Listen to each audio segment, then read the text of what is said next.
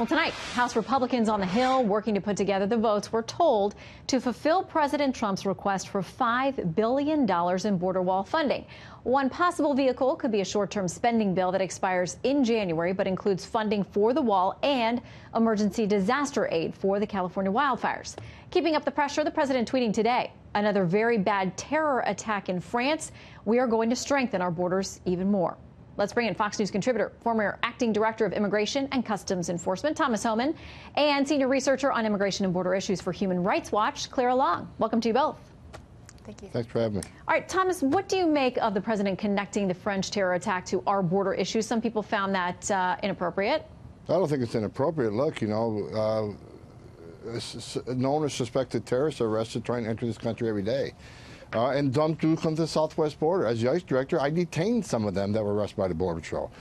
So there are people that want to do harm to this country, enter the country illegally, many by air, many by, you know, maritime, but some across that southern border. So it isn't so far-fetched that the president would say something like that. All right, Clara, we heard the president talk about some numbers, recent numbers that he'd asked for uh, for research as he is looking at the wall. Uh, and we heard Congressman Jim Jordan, a Republican, tweet some of those out today. He said, walls work. These facts don't lie. Israel, illegal immigration down 99%. San Diego down 92%. El Paso down 95%.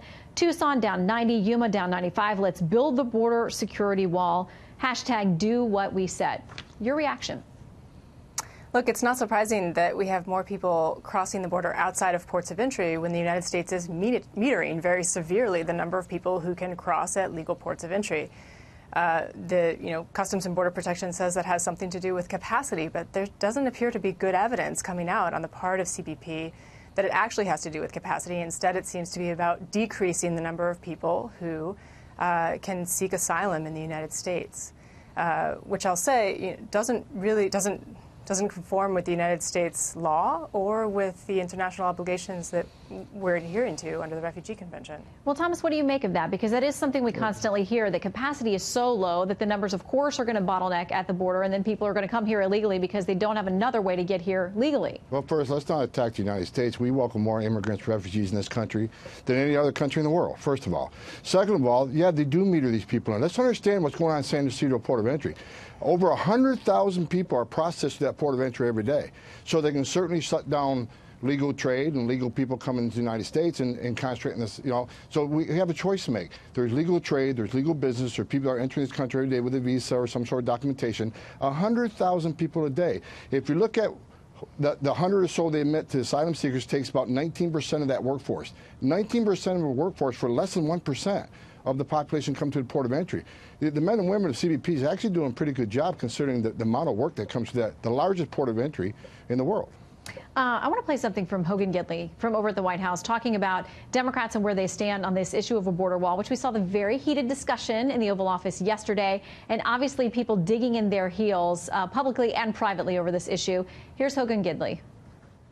They used to be on the right side of this. They voted themselves. Chuck Schumer, Barack Obama, uh, Hillary Clinton all voted for a border wall. They used to be for securing our borders. They are not for that anymore.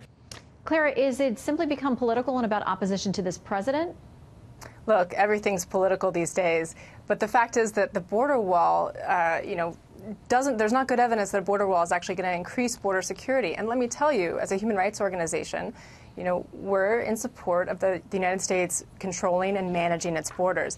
The question is, how do you invest to do that? Um, and instead of investing in the appropriate resources to say, uh, screen individually because that's what's that's what's needed as as former director Homan has pointed out you know screening people individually so we can tell so the United States can tell if, if someone poses a threat or if they have a legitimate asylum claim um, instead of investing in that, uh, the government is proposing to invest in, uh, you know, a, a wasteful initiative uh, that wouldn't really solve the problems here. Okay, Thomas, I want to get you to respond to something along those lines. A criticism from the ACLU talking about the work that's being done at the border. They say it is hurting innocent people. Uh, the headline of this article says President Trump is accelerating the militarization of the southern southwest border. It says Trump's dangerous promise of a thousand mile border wall is likely to cause migrant deaths and more human suffering, devastate the environment, waste taxpayer dollars, and damage border communities. Your response, sir. Well, look, I started my I started my 34 career as a border patrol agent, so I wore that uniform, worked at the line.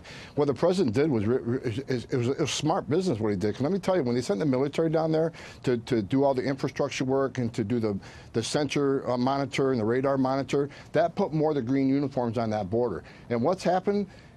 that pushed that pushed the, the cartels out of business. Cartels are upset right now because they can't move their product because with the additional security on the border, they're losing money. Mm-hmm. And, and let me tell you something about the, the case that just happened. The president tried to make these these caravan go through port of entry, saying, "I'm not going to let you apply for asylum if you enter mm-hmm. illegally." He was doing a good thing there, and of course, he got overruled by a judge over in San Francisco. But let me tell you what that judge actually did.